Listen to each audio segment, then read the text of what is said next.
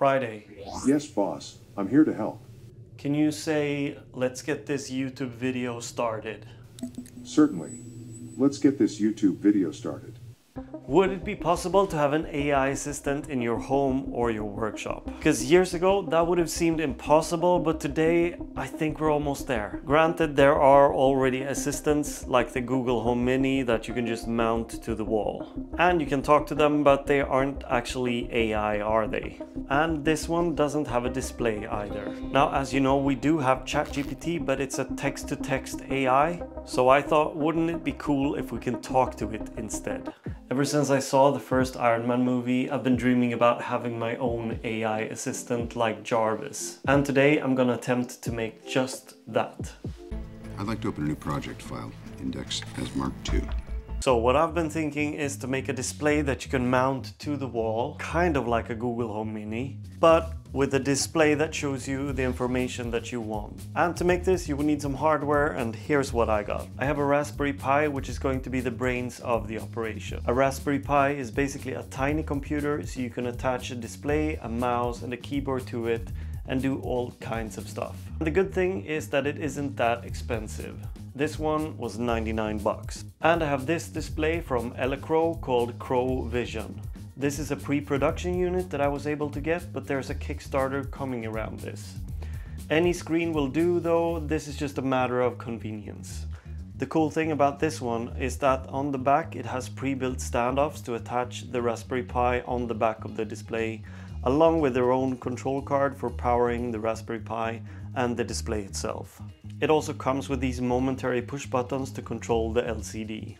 And all of this will be encased in wood and placed on the wall in my workshop, or that's the plan at least. The first thing I did was I started to measure the device because I knew I had to make a 3D printed case to go on the back. Now this was just a matter of measuring and CAD modeling.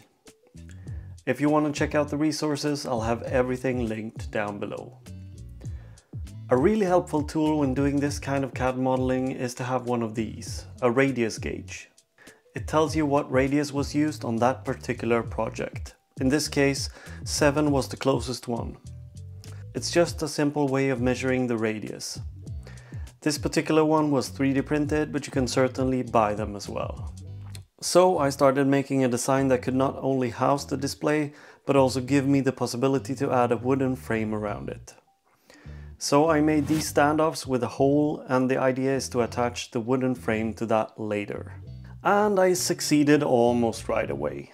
My 3D printer isn't big enough to handle the entire casing in one print, so I divided the model in two and added these two tiny brackets to help me align and glue the two parts together.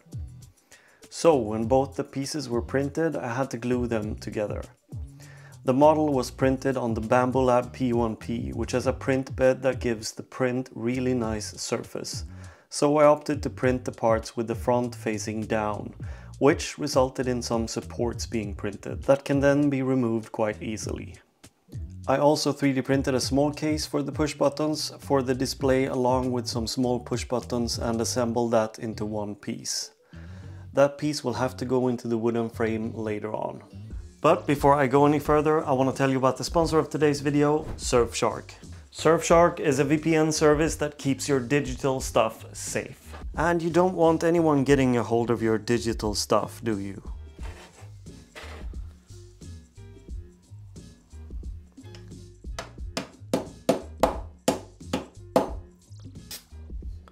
It's basically like a safeguard protecting your information, especially when you're using the internet in public. It encrypts all the information that's being sent from your device to the internet, thus preventing evil hackers getting a hold of it.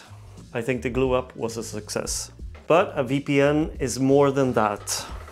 Just the other day I wanted to see a movie that my friend from the UK suggested I'd watch. Well, I couldn't because it wasn't available in Sweden. So I just opened up Surfshark and changed my location to the United Kingdom and then I could watch that show.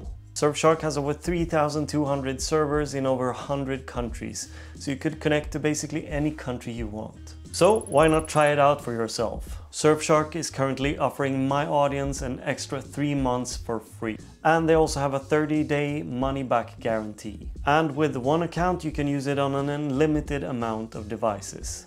Go to surfshark.deals slash the Swedish maker to get an extra 3 months for free. And thanks to Surfshark for sponsoring today's video. Alright, to be able to talk to the Raspberry Pi, I got this.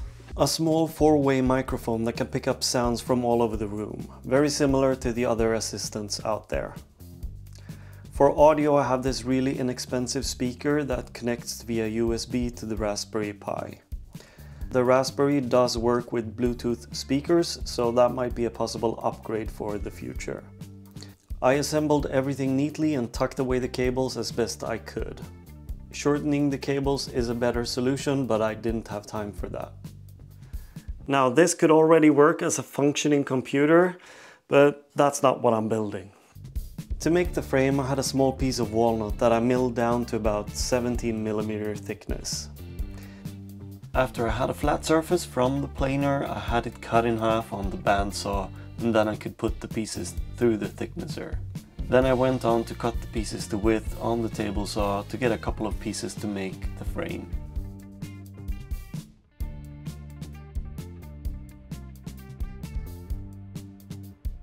Then I had the pieces cut to length on the miter saw. I don't have the best experience with mitered corners, so I decided to do a rabbet joint instead. That was a simple task for the table saw. Set the height of the blade to half the thickness of your material, add a sacrificial fence to the full width of your material and chop away. I don't have a dado blade but running the pieces back and forth works just as good.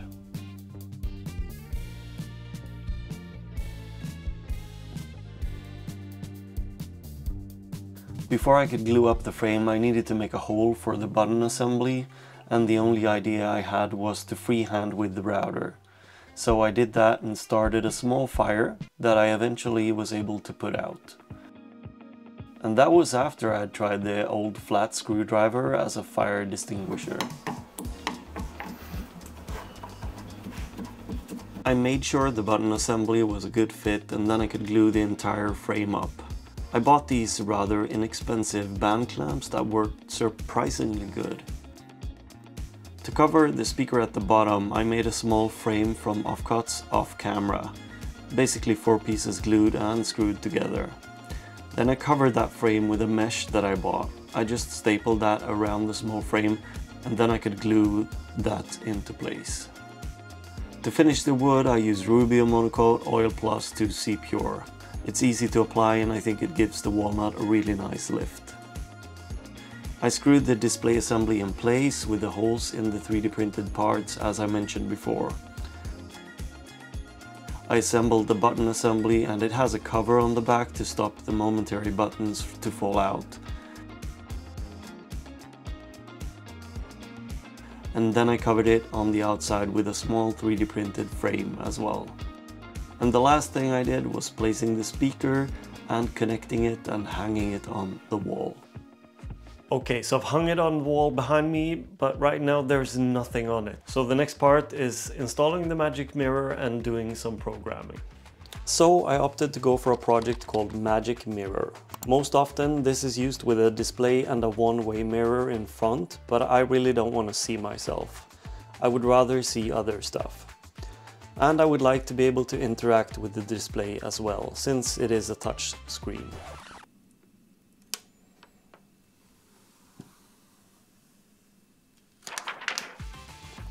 You can download the entire software onto a Raspberry Pi running Raspberry OS.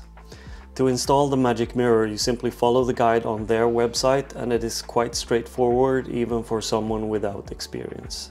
Once installed you can run it and you'll see some modules showing weather, calendar and news. But I wanted to customize that a bit more. So I started installing modules that other people have made for the Magic Mirror. And I'll have all of them listed down below. So there is a big community around the Magic Mirror and lots of people have made custom modules and they can be downloaded and installed on your Magic Mirror. Then I talked to my friend Steve Well, we record a podcast together, but I asked him what type of modules he would want. He said a button to press every time you make a mistake. But there was no module like that to download, so I had to make it myself. Well, I didn't make it myself. I asked ChatGPT to build it for me. And then he also said a calculator would be good, so I made that as well. Working with ChatGPT is such a joy compared to the options. I can't remember how many times I've bumped into issues when programming and I've had to ask people on forums. Granted, they can be really helpful, but you have to wait for the answer. With ChatGPT, it works directly and really good. It's not like it went perfect the first try. No, you completely broke the module again. Oh man. Sometimes it struggles to remember what you've already agreed on and oftentimes it forgets previous code that was working. And then you have to go back and remind it.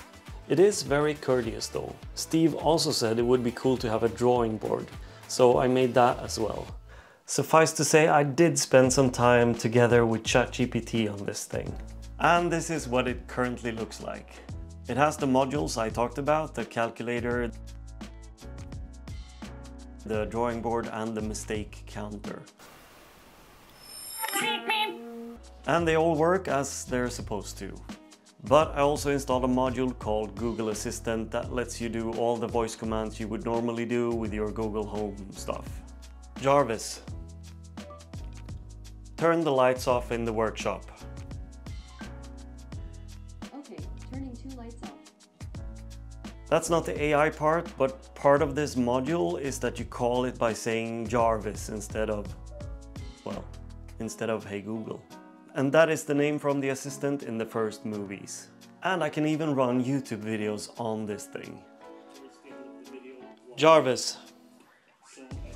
Set the volume to 10%. Jarvis. Spotify play. Well, welcome to episode 105. Yeah, 105 of the Three Northern Makers podcast. Now there's still one thing missing and it's the main function, the AI assistant. And I've been spending two full days trying everything I can think of to get this to work. And honestly, it's totally doing my head in. But I have decided to give it a couple of more hours to see if I can get it to work. Otherwise, I might have to figure something else out. But for now, I'm gonna keep working on it to see if I can get it to work.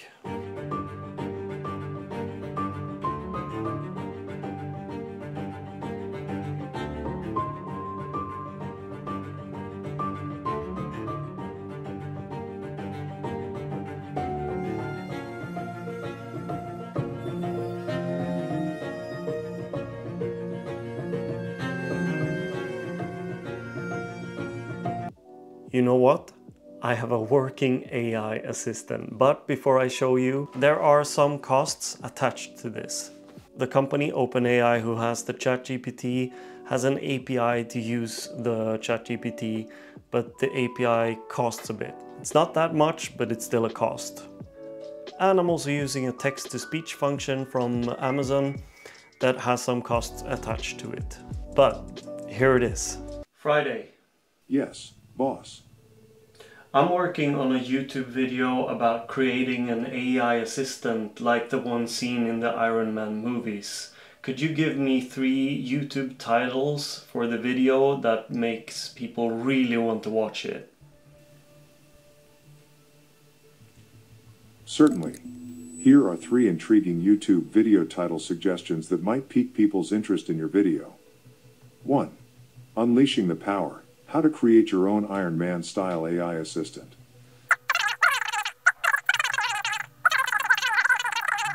Thanks. Not sure I'll use one of those titles, but you get the drift. And currently it's running behind the Magic Mirror, so it's not included in the UI for now. Now, if you have any ideas on how to make this better, or if you want to work on making it better, I have all the code uploaded to my GitHub. And if you want to make your own, I have all the things I've used listed down below. Friday. Can you tell my YouTube audience thanks for watching? Absolutely. Hey there, fellow viewers. On behalf of your name slash channel name, I wanted to extend a heartfelt thank you for watching our content. We appreciate your time, support, and interest in what we do. If you enjoyed the video, don't forget to like, subscribe, and hit that notification bell so you never miss an update. Thanks again for tuning in, and we'll see you in the next one.